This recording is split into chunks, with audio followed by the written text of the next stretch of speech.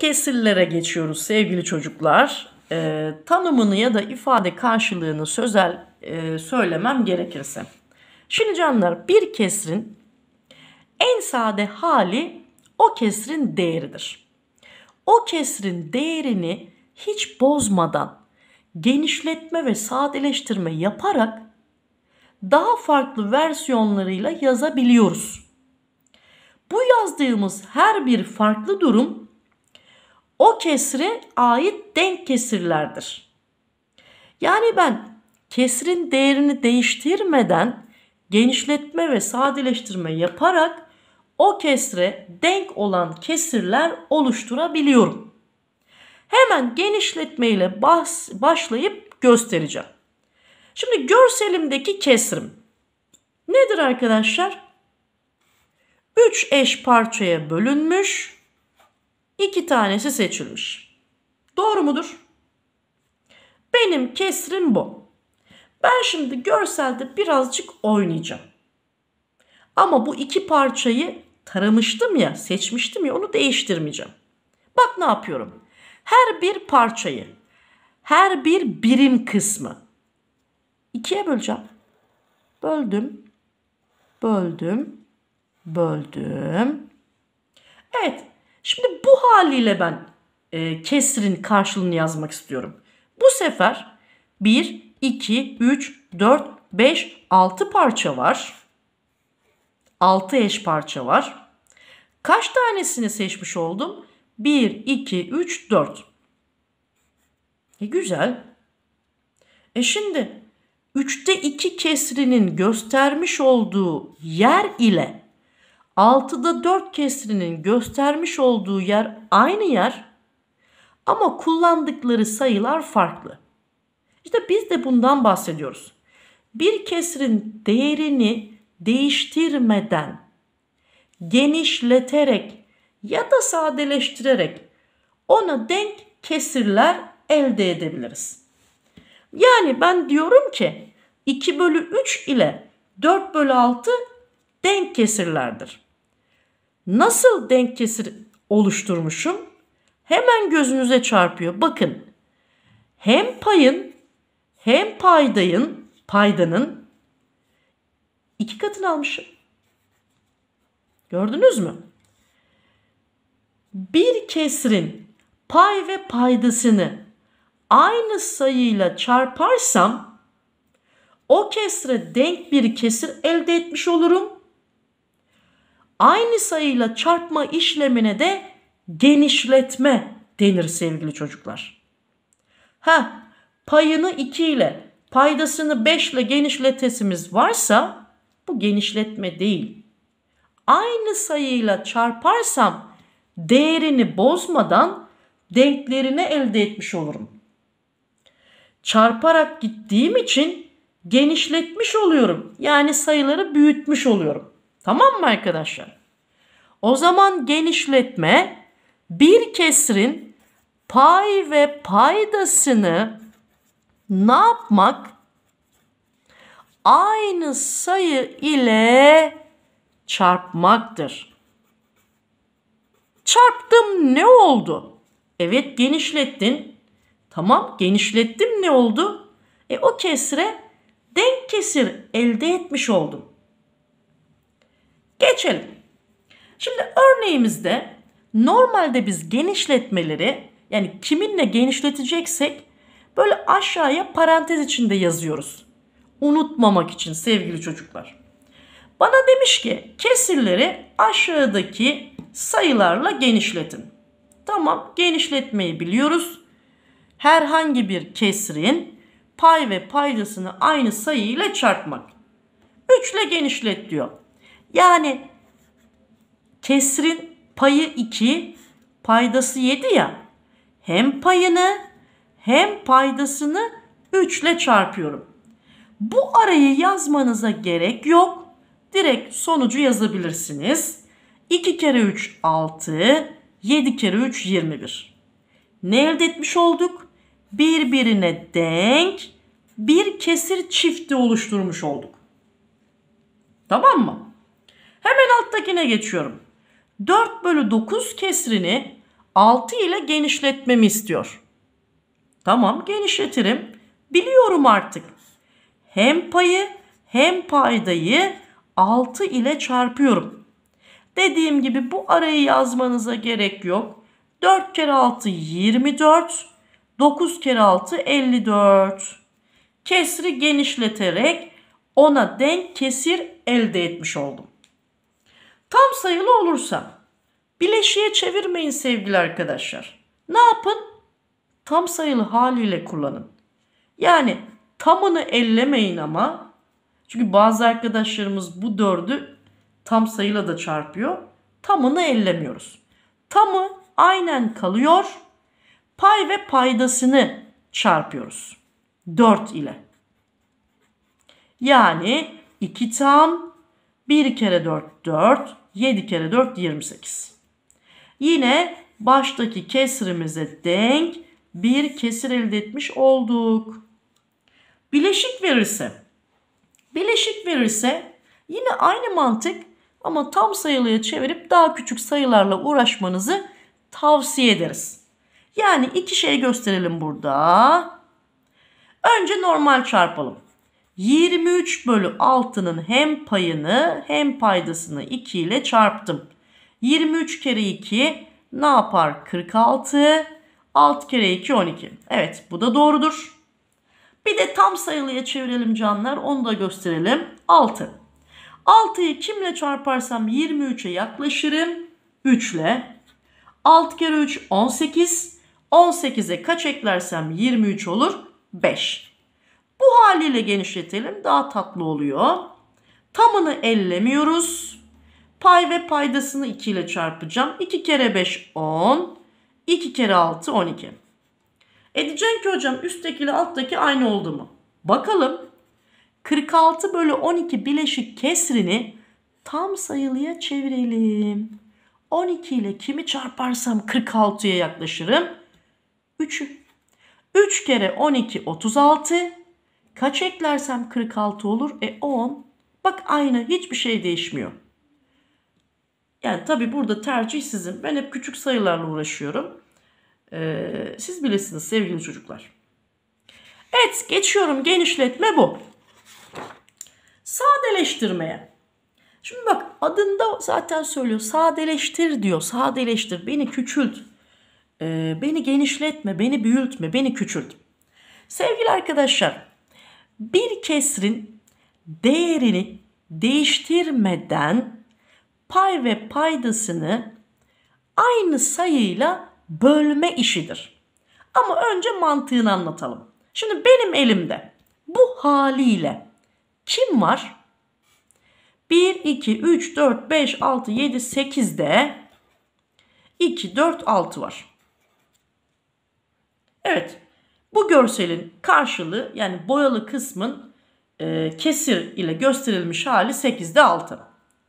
Ben şimdi şöyle diyeyim. Yine o 6 parçayı bozmadan şunu göstereyim. Şu çizgi olmasa. Şunu görmeyelim canlar. Bak şunu görme.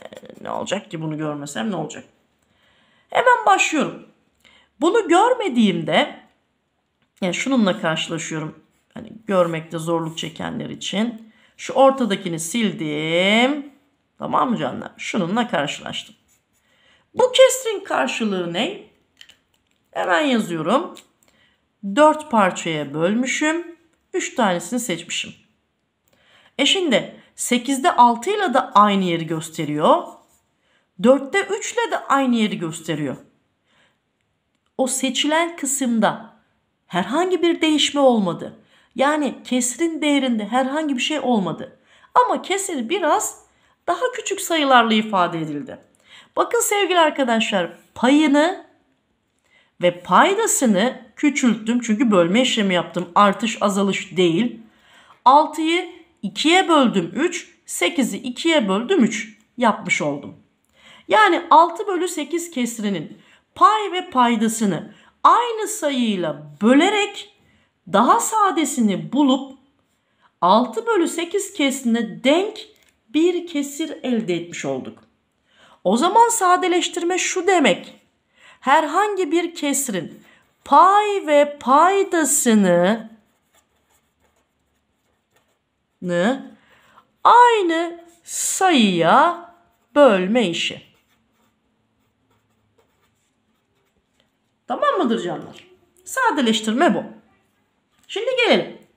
Sadeleştirmede genişletmedeki gibi böyle aşağıya genişleteceğiniz sayıyı yazmazlar. Sadeleştireceğiniz o sayıları kendinizin bulmasını isterler. O yüzden çarpma işlemi, bölme işlemi biraz daha önemli oluyor burada. Şimdi tabii tiyolar vereceğiz. 26 bölü 6 kesirini sadeleştirelim.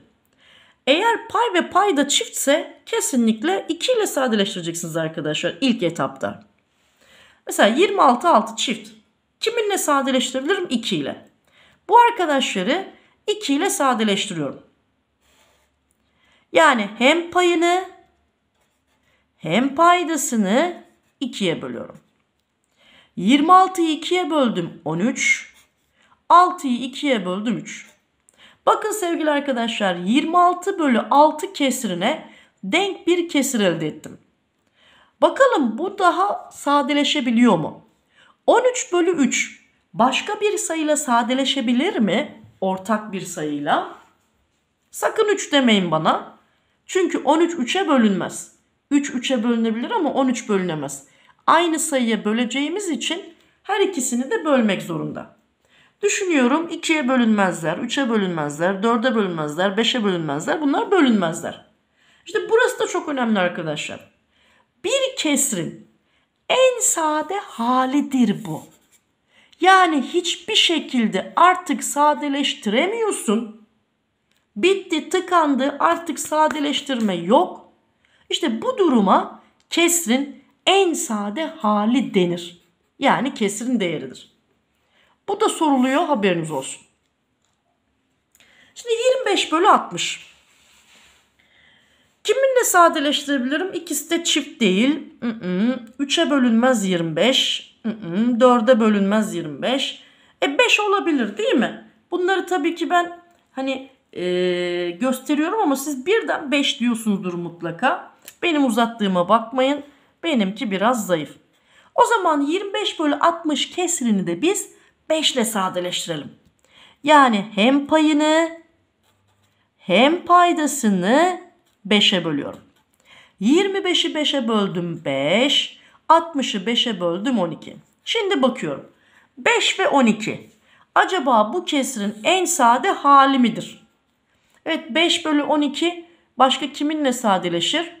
Hmm, düşünelim 2 yok, 3 yok, 4 yok, 5 yok. Yok. O zaman bu kesrimizin en sade halidir. Şöyle düzgün yazayım. Evet 12 bölü 54. Şimdi burada e, hani ritmik saymanız çok iyiyse daha büyük sayılarla sadeleştirip rahat edersiniz. E, ama küçüklerle de sadeleştirip birkaç işlem yapmış olabilirsiniz. Sıkıntı yok. Şimdi 12 bölü 54 ikisi de çift olduğu için benim aklıma hemen 2 geliyor. Başlıyorum. Payı ve paydayı 2'ye bölüyorum. 12'yi 2'ye böldüm 6. 54'ü 2'ye böldüm 27. Peki 12 bölü 54'ün en sade hali midir 6 bölü 27? Neden? Her ikisi bir de 3'e bölünüyor. O zaman bu arkadaşları da 3'e bölelim. Pay ve paydasını. 6'yı 3'e böldüm 2. 27'yi 3'e böldüm 9. Peki 2 bölü 9 en sade halimiz mi? Bakalım 2'ye bölünmezler, 3'e bölünmezler. Yani her ikisi birden. 4 yok, 5 yok. Tamam. En sade halimizi bulana kadar sadeleştirmeyi yapmamız e, 4 işlemde ya da herhangi bir durumda çok önemli bizim için. Bitti. Burada da sadeleştirdik. Şimdi ben burada önce 2'ye sonra 3'e böldüm. Ama 6'şar saymanız çok iyi olmuş olanlar hocam sen uzattın biz direkt 6'ya bölebiliriz derler kesinlikle haklılar. Yani 12 ve 54'ün 6'ya bölündüğünü gördüğümüz için direkt 6 ile sadeleştirebiliriz. Ne güzel bunu görebilmek. 12'yi 6'ya böl 2'yi, 54'ü 6'ya böl 9. Tak diye 2 böl 9'u tek kalemde bulabiliyoruz. Ama sıkıntı yok. Uzatılabilirsiniz yani. Ne olacak? Evet geldik 18 bölü 42'ye. Evet her ikisi de çift. 2 ile sadeleştirebilirim. Ama bu sefer biraz e, büyük düşünelim. 18 ve 42 e, 6'nın da katı bunlar. Yani direkt 6'ya bölebilirsiniz. Ama ben her ikisini de göstereyim. Önce direkt 6'yı gördüğümüzü düşünelim. 18 bölü 6, 42 bölü 6, 18'i 6'ya böldüm 3, 42'ye 6'ya böldüm 7. Bakalım başka sadeleşebiliyorlar mı? E, hayır. O zaman bu kesrin en sade hali de 3 bölü 7. En sade hali bulduğum için benim için sadeleştirme bitmiştir. Tabi biz 18 bölü 42'yi 2'ye 3'e e, bölerek iki ayrı işlem yaparak da halledebiliriz. 55 bölü 66. Bu kesiri çok seviyorum çünkü ipucu veriyor. 11'in katı bunlar arkadaşlar. O zaman bunları gördüğümüzde direkt kiminle sadeleştiriyoruz? 11 ile. Bu arada artık sadeleştirmeyi de biraz geliştirelim. Bizler ve sizler sadeleştirme yaparken şunu yapıyoruz. Üzerine çizik atıyoruz arkadaşlar. Ee, şöyle ki hani yapma mecburiyetiniz yok. Ee, 55 ve 66'yı 11 ile sadeleştiriyorum ya. 11'i aklımda tutuyorum. 55'i 11'e böldüm 5. Sonuçları buraya yazıyorum. 66'yı 11'e böldüm 6. En sade halidir. Sadeleştirmemiz bitmiştir. 55'i 11'e böldüm 5. 66'yı 11'e böldüm 6. Tamam mıdır? Tabii keyif sizin sevgili arkadaşlar. Ben karışmıyorum. Ben şöyle uzun yazayım da 5. sınıf modunda olalım. 52 bölü 130 kiminle sadeleşir? E şimdi bilemem ben bunu. İkisi de çift olduğu için bir 2 ile sadeleştirelim. 52'yi 2'ye bölüyorum. 130'u 2'ye bölüyorum. 52'yi 2'ye böldüm. 26. 130'u 2'ye böldüm. 65. Bakalım en sade hal mi? Evet 2'ye bölünmüyor 65. 3'e bölünmüyorlar. 4'e bölünmüyorlar. 5'e bu bölünmüyor. 6 yok. 7 yok. 8 yok. E, en sade hali mi? Pes etme bak 26'yı soruyorsa 65'i soruyorsa bir şeyler soruyordur. İşte 9 yok, 10 yok, 11, 13. Arkadaşlar bu ikisi bir de 13'e bölünür. 26 13'ün katıdır. 65 de 13'ün katıdır. Bu sayıları gördüğünüzde sadeleştirmeye devam. 26'yı 13'e böldüm 2. 65'i 13'e böldüm 5. Artık bizim 52 bölü 130'dan 2 bölü 5'e kadar geldik arkadaşlar. Bu ikisinin denk olduğunu söylememe gerek yok.